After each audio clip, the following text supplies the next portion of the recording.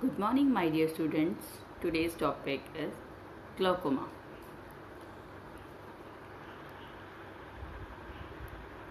Glaucoma. Glaucoma is a normal eye with a glaucoma eye. Glaucoma eye present the pressure. Now, introduction. Glaucoma refers to a group of disease characterized by optic, neu- optic neuropathy, specific pattern of visual field defect, raised intra- intraocular pressure. Damage to optic nerves is irreversible process. Normal IOP, that is the intraocular pressure, is 10 to 21 mm of Hg. Now, definition of the glaucoma. Definition of glaucoma. It is a group of dis- disorder characterized by an abnormally highly high intraocular pressure, optic nerve dystrophy, the weakness, and peripheral visual field loss. It is a symptomatic condition of the eye where the IOP is more than normal above 25 mm of Hg. Untreated of glaucoma leads to permanent damage of the optic nerve and result resultant visual field loss which can progress to blindness.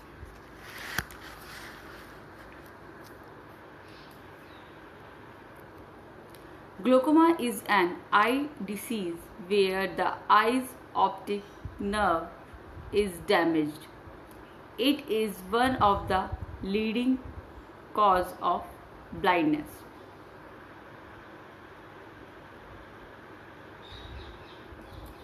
Now, anatomy of the eye. The human eye, the optic nerve is a bundle of nerve fibers. It carries visual information from the retina to the brain. Now, fluid circulation. The eye has an internal fluid circulation, circulation system. Fluid is produced, uh, produced at the base of the iris. The fluid flow through the pupil to the front of the iris. The base of the iris to move in the front of the iris and pupil. The fluid exits the eye exit the eye at the angle between the iris and the cornea where it drains through a spongy meshwork.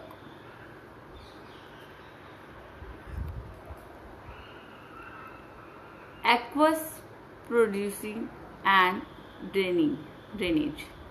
Secretion of aqueous humor, ciliary body, posterior chamber, the root of draining, primarily 90% of TM, trabecular, trabecular meshwork or uveal scleral outflow. It is a 10%. Aqueous draining. The ciliary body poster- uh, goes to the posterior chamber, then posterior chamber to the anterior chamber, anterior chamber to the TM, to the trabecular meshwork, then Skimesh canal, Skimesh canal, and the collection collector channel, and intrascleral venous plexus, the episcleral plexus, then subophthalmic vein, then cavernous sinus, and last is the cavernous sinus. This is the aqueous humor draining. Uveoscleral the ciliary body is the suprachoroidal space then venous circulation of the ciliary body, choroidal and scleral. These are 10% of drainage. Now causes and the risk factor. Causes and the risk factor of the glaucoma. Number one is the genetic, the family history of the glaucoma. Aging, ocular hypertension is a condition where the pressure in the, your eyes or IOP is too high, con- continuously high pressure within the eye can eventually damage the optic nerve and leads to glaucoma or permanent vision loss. Severe myopia. It is associated with an increased risk of pathological ocular complication may and may lead to blinding disorder like glaucoma. Eye trauma is it most commonly caused by blunt trauma which is an injury that doesn't penetrate the eye such as a blow to the head or an injury directly on the eye. This can lead to increase in eye pressure which can damage the optic nerve. Ocular surgeries can cause an change in the eye's pressure. Sharp increasing increases in eye pressure are called pressure speaks pressure speaks and sometimes occurs in patient after cataract surgery. Often these pressure peaks are short time short term and can be treated with medicines. Migraines. Prolonged increased pressure can lead to visual loss if not corrected. Black ethnicity.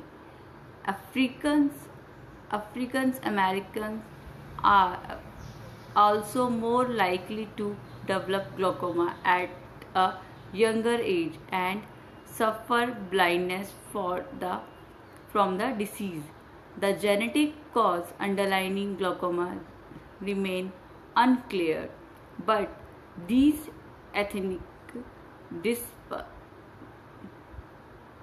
these ethnic disparities in the risk of developing glaucoma suggest a genetic basis that is ethnicity specific. Prolonged use of local or systemic corticosteroid.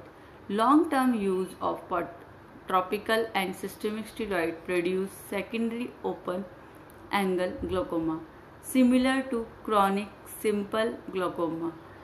The increased intraocular pressure caused by prolonged steroid therapy is reversible but the damage produced by it is irreversible. Edema glucocorticoid receptor on trabecular meshwork cells. Now diabetes and glaucoma. Diabetes can lead to blood vessels develop in the drainage drainage angle of the eye. This can raise the eye pressure and cause glaucoma. The optic nerves get damaged and peripheral vision is lost.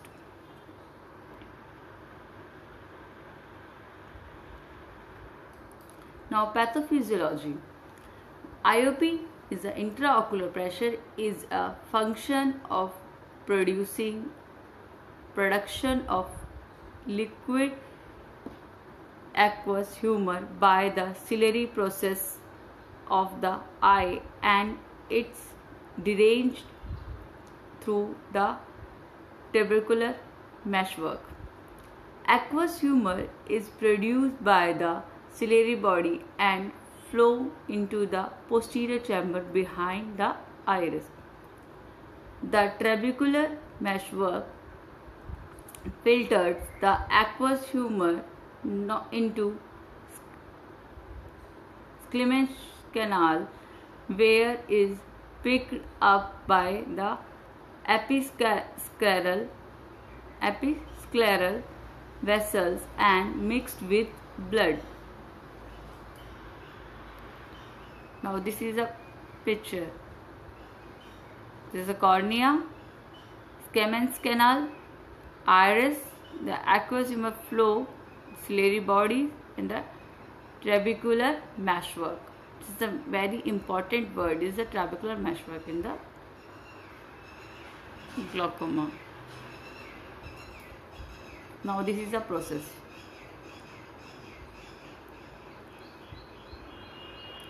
Collector channel, the moving of the fluid. Now classification. Classification is number one is the congenital glaucoma and acquired glaucoma. Acquired glaucoma include the primary glaucoma and the secondary glaucoma. Now we discuss one by one. Congenital glaucoma. It is rare disease occurs when a congenital defect in the in the angle of the anterior chamber obstructs obstructs the outflow of aqueous humor. If untreated causes damage to the optic nerve and blindness. In most cases surgery is required true congenital glaucoma infantile glaucoma juvenile glaucoma these are the types of congenital glaucoma Number one is the true congenital glaucoma. It is a labeled when IOP is raised during intrauterine life and child is born with ocular enlargement. Its occurrence is about 40% of cases. Infantile glaucoma. It is labeled when the disease manifests prior to the child's third birthday. It occurs in about 50% of cases. Juvenile glaucoma. It is labeled uh, in the rest 10% of cases who develops pressure rise between 3 to 6 years of the life. Now next is acquired glaucoma. Number one is the primary glaucoma. Primary glaucoma include the primary open angle glaucoma, primary angle closed closer glaucoma and secondary glaucoma. Primary glaucoma. Primary, glau primary glaucoma under primary open angle glaucoma is the most common form of glaucoma is occurs when the fluid drainage is poor and fluid builds up in the eye and the internal eye pressure goes up. This increased pressure can cause damage to the optic nerve and vision loss. The exact mechanism of damage is still unknown. The symptoms of primary open angle glaucoma that develops gradually and painlessly and has no initial symptom. Vision is normal and the earlier stage but later if untreated peripheral or side vision is slowly lost. The tunnel vision, just like a tunnel vision, de defective sight in which objects cannot be properly seen if not close to the central of the field of view. It's just like a tunnel view. Symptom of primary glaucoma, primary open angle glaucoma. Eventually, all vision may be lost. Secondary glaucoma. Secondary glaucoma is a primary angle closer glaucoma. This type of glaucoma is an emergency situation. It occurs when the iris itself blocks the drainage angle and result in a sudden increase in pressure. Symptoms include severe eye pain, nausea, eye redness and very blurred vision. Immediate treatment is required. Glaucoma can develop as a complication from other conditions including eye injuries, diabetes, steroid use.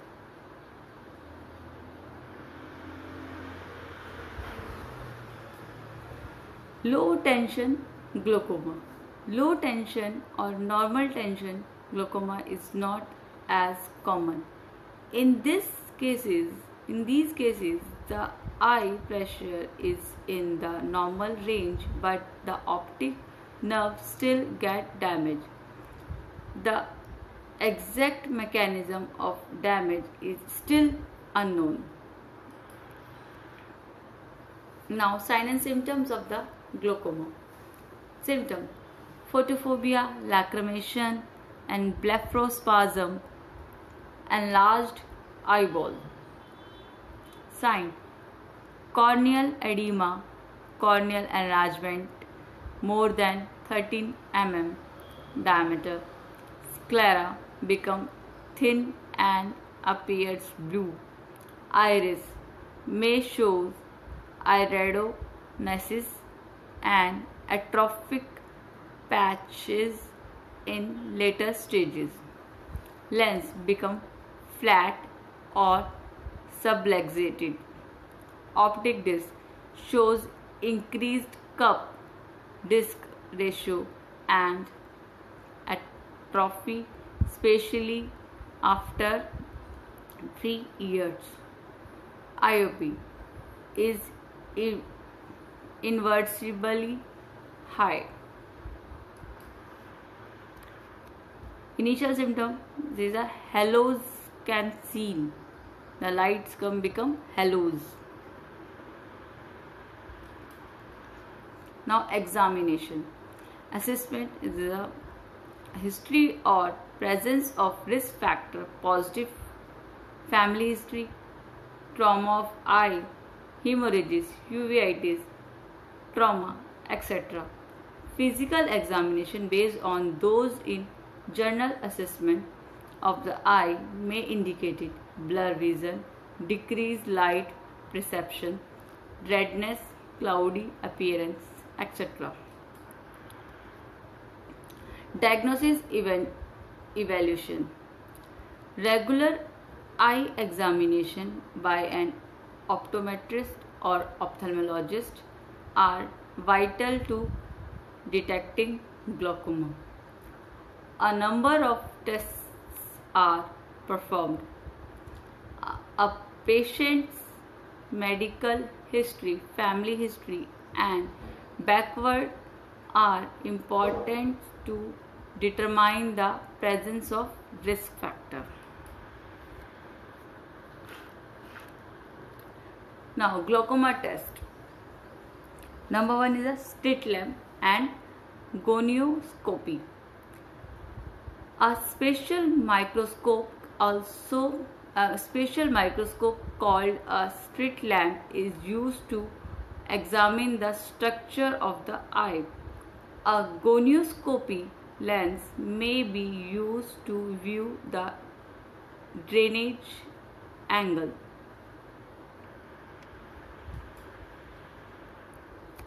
Slit lamp examination. Once patients in the examination chair, the doctor will place an instrument in front of the patient on which to rest chin and forehead. This help steady head for the examine. Doctor may put the drops in eyes to make any abnormalities on the surface of the cornea more visual. The drops contain a yellow dye called fluorescein which will wash away the tears. Additional drops may also be put in the eyes to allow pupils to dilate or get bigger. The doctor will use a low powered microscope along with a slit lamp which is a high intensity light. They will look closely at eye. The slit lamp has different filters to get different view views of the eyes. Some doctors officers may have devices that capture digital image images to track changes in the eyes over time. During the test, the doctor will examine all areas of your eye, including the eyelids, conjunctiva, iris, lens, sclera, cornea, retina, and optic nerve.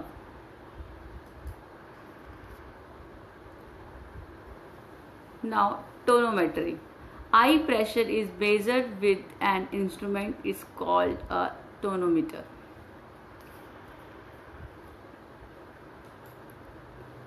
This is a tonometer. Tonometer is the process producer eye care professionally performed to determine the intraocular pressure, the fluid pressure inside the eye. It is an important that important test in the evaluation of patient at the risk for glaucoma. Normally, pressure range is 12 to 22 mm of Hg.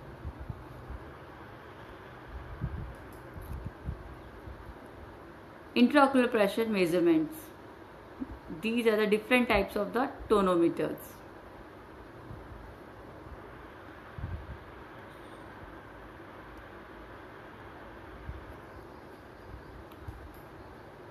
Now ophthalmoscopy. Eye drops may be placed in the eye to dilate the pupil. Spatially magnifying lens are used to examine the retina and optic nerve for damage.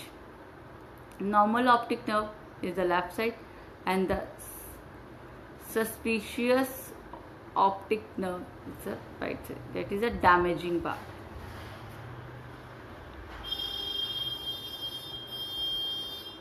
ophthalmoscopy Advanced are advances are being made in digital imaging of the retina. Color fundus photography. This is another test.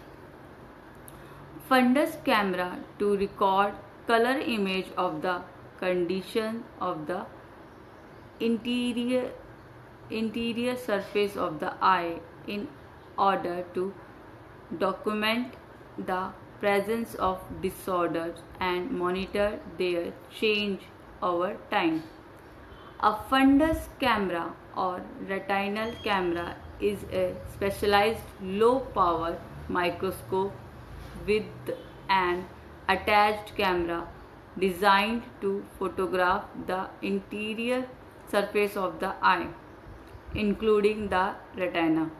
Retinal vasculature, optic disc, macula and posterior pole that is the fundus. Now this is the color fundus photography. The blackish part is uh, slightly increase, increase, increase. That is the increased part is the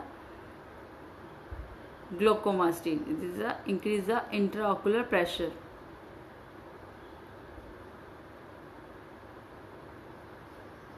And lastly is a complete field loss. The complete vision loss. This is the color, and the same is print. This report printed in this form. Thus, right side we see the circle. The circle is the uh, upper part of the circle is a darkish. Darkish color is the visual field defect. This is the that is present is the complete blindness. Complete visual loss on the affected part. Now surgical management. Argon laser trabeculoplasty. It may be used to treat open angle glaucoma. In this thermal thermal argon laser burns are applied to the inner surface of the trabecular meshwork to open the intratrabecular spaces and wide widen the canal of Schlemm, thereby increasing the outflow of aqueous humor and decreasing in intraocular pressure.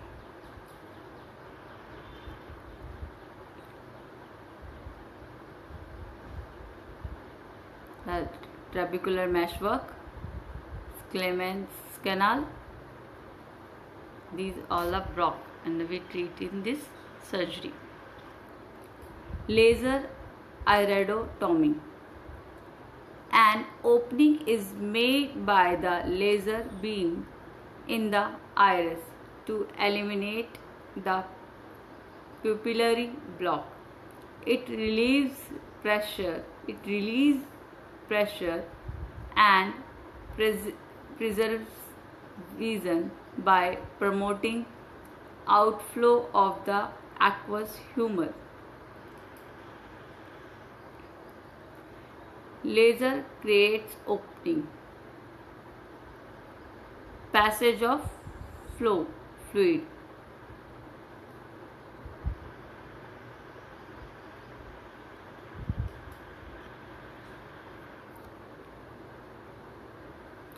Cyclocryotherapy application of a freezing probe to the sclera over the ciliary body that destroy some of the ciliary processes results in the redu reduction of the amount of aqueous humor product. Cyclodialysis through a small incision in the sclera and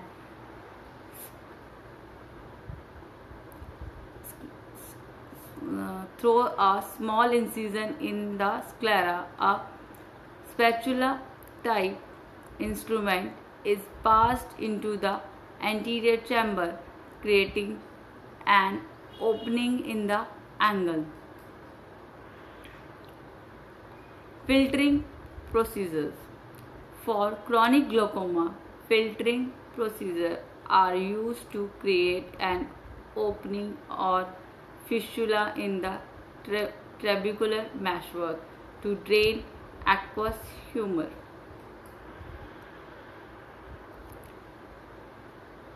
Trabeculotomy a partially thickening thickness a partially thickness incision is made in the sclera and further section of the sclera is removed to produce an opening for aqueous humor outflow under the conjunctiva, create, creating a filtering plane.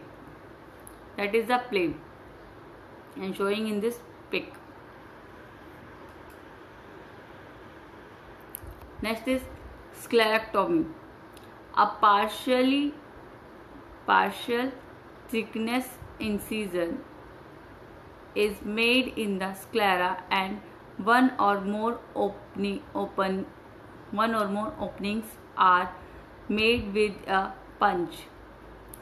The top flap of sclera is closed over the punched hole.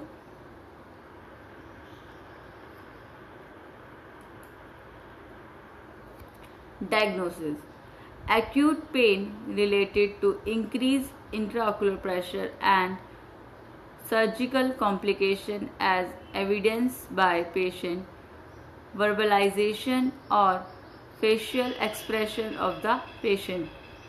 Goal The pain of the patient will be reduced. Now, last is homeopathic management. That is our part. Some remedies are to control the glaucoma. Number one is phosphorus. Glaucoma when the optic nerve is damaged. The main symptoms is tiredness of the eyes all the time. The eyes seems very tired even when they are not engaged in much work. The eye seems to be exhausted along with the fatigue of eyes.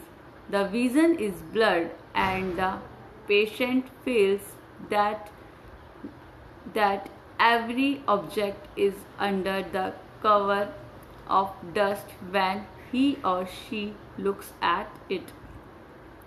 Halos around around light is also an important symptom.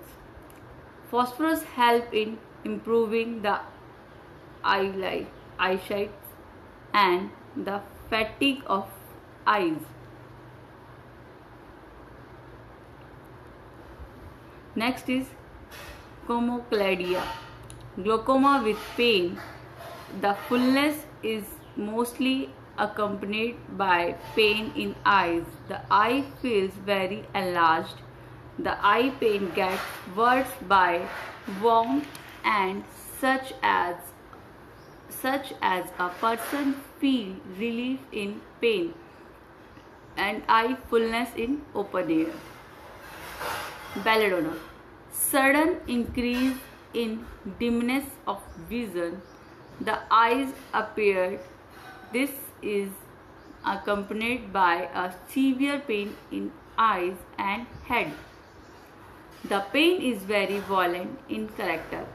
Nausea and vomiting may also occur.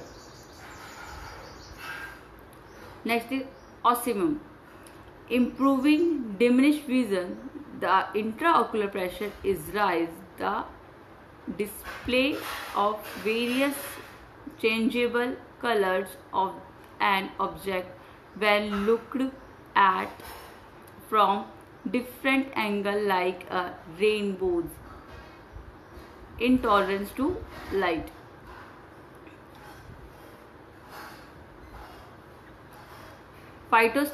Physostigma is the dim vision, blurring of the vision or partial blindness. The pain is usually worse after using the eyes.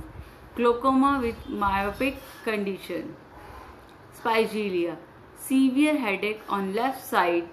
The pain are sharp and stabbing through the eye and head words on motion and at night. Next is prunus spinosa. Spinosa. Sudden pain in the in right eye as a result of glaucoma. Pain in eye is so acute and violent that it results in bursting sensation in the eyeball. Cedron. Left eye of the glaucoma, especially used in the left eye of the glaucoma, severe violent pain in the eye, especially left eye The onset of pain may show certain periodicity in its occurrence. The pain may show radiations to the nose. Gelsemium. There is dilated dilation of pupils, disturbed accommodation, pain in the eyes with or without lacrimation. Colocynthis. There is pain in the eyeball before glaucoma has set in sensation as if the eyeball would fall out when the pain travels to the head and is better by pressure it acts as a good palliative. These are some homeopathy drugs for treating the glaucoma. The initial stage of the glaucoma we can treat by the medication but in mature and the uh, later stage of the glaucoma we have only option the surgical option.